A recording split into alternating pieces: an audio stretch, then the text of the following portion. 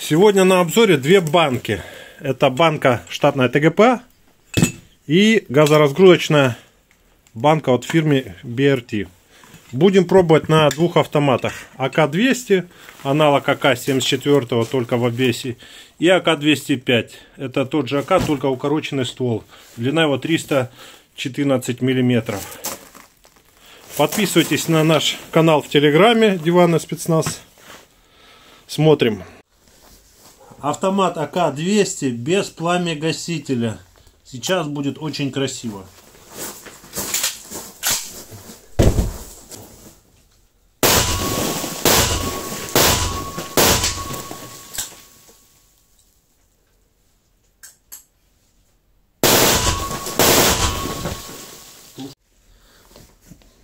АК-205 с коротким стволом, без пламя-гасителя. Смотрим.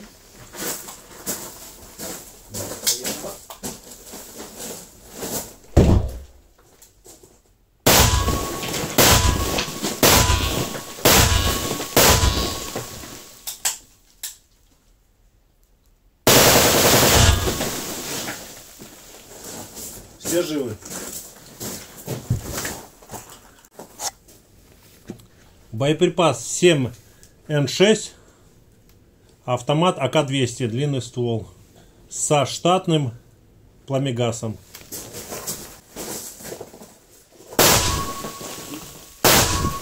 Короткую очередь.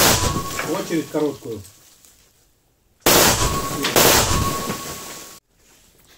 Автомат АК-205, короткий ствол, патрон 7Н6. Смотрим.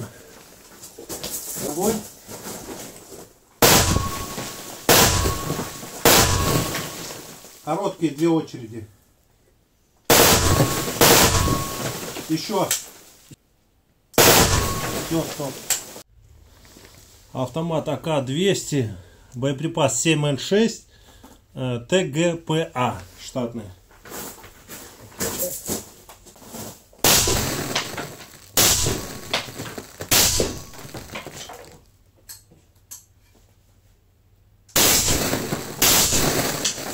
Еще.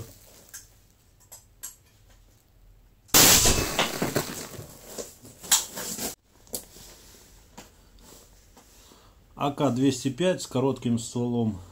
Банка ТГПА, боеприпас 7Н6.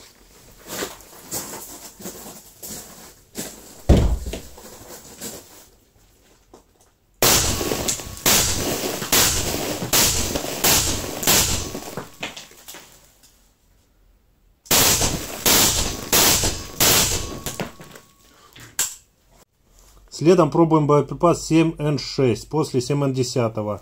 Банка БРТ. Закрывай.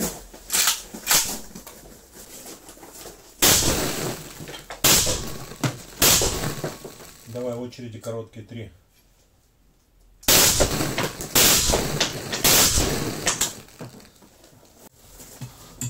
Автомат АК-205 с коротким стволом. Банка БРТ, боеприпас 7Н6.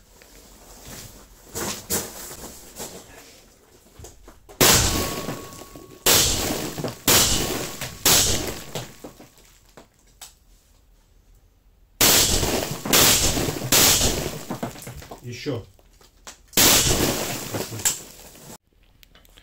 Вывод. При использовании банки ТГПА много пороховых газов и грязи летит из-под крышки ствольной коробки. Хотя крышка ствольной коробки отличается от АК-74 тем, что она закрытая тут.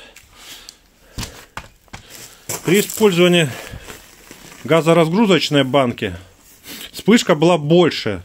Но стрелку в лицо ничего не летело.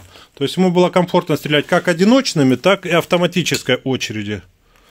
Выбор за вами. Какую банку брать.